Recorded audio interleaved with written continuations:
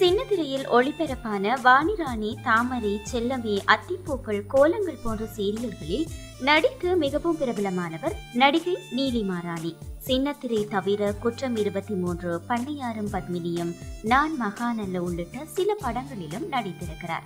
நடிகை நீலிமா இசைவாணன் என்பவரை காதலித்து திருமணம் செய்து கொண்டார். திருமணமான ஒன்பது ஆண்டுகளுக்கு பிறகு இவர்களுக்கு பெண் குழந்தை பிறந்தது. பின்னர் கடந்த ஆண்டு செப்டம்பர் மாதம் திருமண நாளை முன்னிட்டு தான் கர்ப்பமாக இருப்பதாக அறிவித்திருந்தார். இந்த நிலையில் நீலிமா ராணிக்கு பெண் குழந்தை பிறந்திருப்பதாக செய்திகள் வெளியாக இருக்கிறது. இதை தனது சமூக வலைதள பக்கத்தில் மகிழ்ச்சியுடன் பகிர்ந்திருக்கிறார் நீலிமா ராணி தமிழகத்தில் கடந்த சில தினங்களாக கொரோனா பாதிப்பு அதிகரித்து வருகிறது. குறிப்பாக இரண்டாம் அலையின் போது அரசியல் தலைவர்கள் மற்றும் திரையுலக பிரபலங்கள் பலர் கொரோனாவால் பாதிக்கப்பட்டிருந்தார்கள். தற்போது மூன்றாவது அலையின் போதும் சினிமா பிரபலங்கள் பலருக்கு கொரோனா பாதிப்பு ஏற்பட்டிருக்கிறது. நடிகை மீனா மற்றும் அவரது குழந்தை நைனிகா உள்ளிட்ட குடும்பத்தினர் அனைவரும் கொரோனாவால் பாதிக்கப்பட்டிருக்கிறார்கள்.